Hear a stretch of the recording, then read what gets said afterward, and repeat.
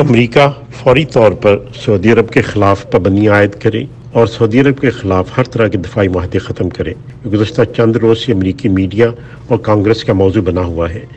गुजशत बुध के रोज़ तेल पैदा करने वाले ममालिक की तंजीम ओपेक, जिसका रूस भी मेंबर है, की तरफ़ से दो मिलियन बैरल योमिया कमी के ऐलान के बाद अमरीका में सऊदी अरब के खिलाफ पाबंदियाँ लगाने की आवाज़ें बढ़ती जा रही हैं। इस वक्त तकरीबन पाँच हज़ार अमरीकी फौजी सऊदी अरब में तैनात हैं। उससे भी बढ़ के अमरीका ने सऊदी अरब को पेट्रियट मिज़ाइल डिफेंस सिस्टम दिया हुआ है, जो कि मिज़ाइल हमले रोकने में काम आता है। अब ये भी मुतालबा किया जा रहा है कि अमरीका सऊदी अरब से वो डिफेंस सिस्टम भी वापस ले।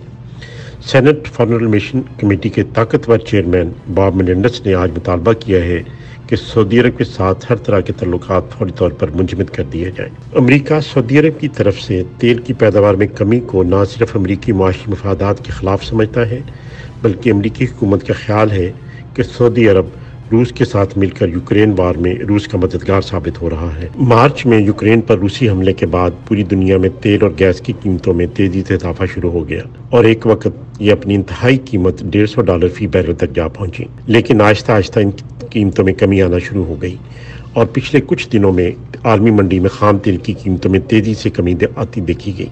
इसकी बड़ी वजह आलमी साथ बाजारी के खदशात और चीन की माशी तरक्की में कमी थी। लेकिन ओपेक के हालिया फैसले ने तेल की कीमतों में फिर दोबारा इजाफा शुरू कर दिया है और ये यक तक सौ डॉलर तक जा पहुँची हैं। इन बढ़ती हुई कीमतों के बावजूद अमरीका और यूरोप यूक्रेन पर रूसी हमले की वजह से रूस पर मजीद सख्त पाबंदियाँ लगाने की कोशिश कर रहे हैं। इन हालात में सऊदी अरब का रूस के साथ तल्लुक को बढ़ाना और इसके साथ मिलकर तेल की पैदावार कम करना अमेरिका के खिलाफ एक मुआशी हमला तस्वर किया जा रहा है। अमरीकी कांग्रेस मीडिया अब यकसबान होकर बाइडन इंतजामिया पर ज़ोर डाल रहे हैं कि सऊदी अरब के खिलाफ पाबंदियाँ आयद की जाए।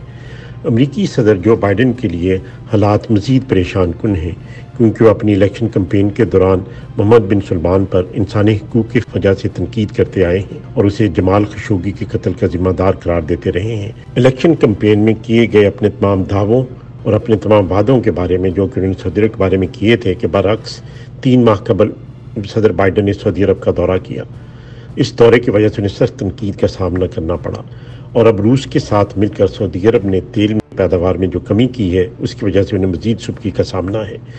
ना सिर्फ़ ये, बल्कि आइंदा माह अमरीका में कांग्रेस के इलेक्शन हो रहे हैं और इन हालात में तेल की बढ़ती हुई कीमतें उनके लिए सख्त मुश्किल पैदा कर रही हैं।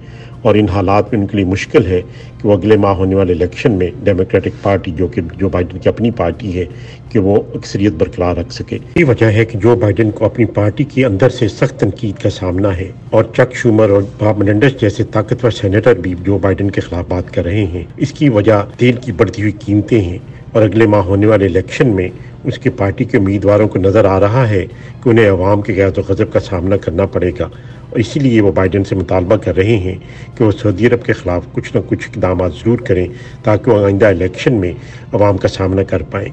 ऐसे में नज़र ये आ रहा है कि अगले माह होने वाले इंतबात की वजह से जो बाइडन सऊदी अरब पर कुछ ना कुछ पाबंदियों का ऐलान कर सकते हैं।